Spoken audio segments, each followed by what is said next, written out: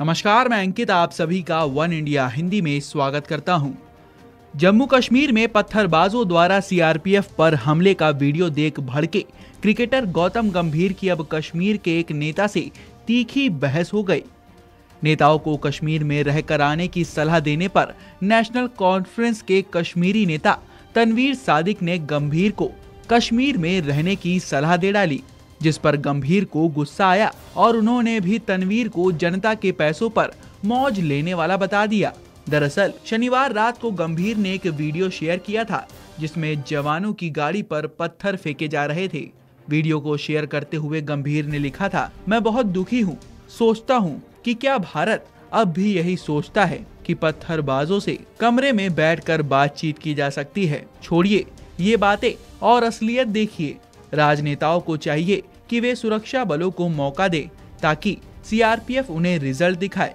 इसके साथ ही गंभीर ने यह भी सलाह दी थी कि 2019 में जो भी नेता आम चुनाव लड़ना चाहे, उसे टिकट तब ही दिया जाना चाहिए, जब वो बिना सुरक्षा के अपने परिवार के साथ एक हफ़्ता घाटी में बिता कर आए। गंभीर ने कहा कि इससे ही नेताओं को सुरक्षा बलों की परेशानियों के बारे में पता चलेगा। वहीं गंभीर के समाधान पर तनवीर ने सलाह दी कि गंभीर को ही कश्मीर चले आना चाहिए। उन्होंने लिखा, मेरे पास एक ही हल है। आप वैसे भी क्रिकेट में कुछ खास नहीं कर रहे हैं तो उसे छोड़कर कश्मीर आकर मेरे मेहमान बनकर रहो। श्रीनगर घाटी में मैं जहाँ रहता हूँ। मेरा यकीन करे, वहाँ कोई आपको नुकसान नहीं पहुँचाएगा। सिर्फ़ इसी तरीके से आप कश्मीरी लोगों की परेशानियों को समझ पाएँगे। इसका जवाब देते हुए गंभीर ने लिखा, इतने सालों में आप लोगों ने कश्मीरी लोगों के लिए क्या किया? आपने सिर्फ़ करदाताओं के पैसे पर मौज उड़ाई है और मासूम कश्मीरी लोगों को मूर्ख बनाया है।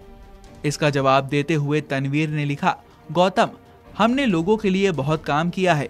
अगर आप आए तो देख सकेंगे कि कैसे मासूम कश्मीरियों को फंसाया जाता है।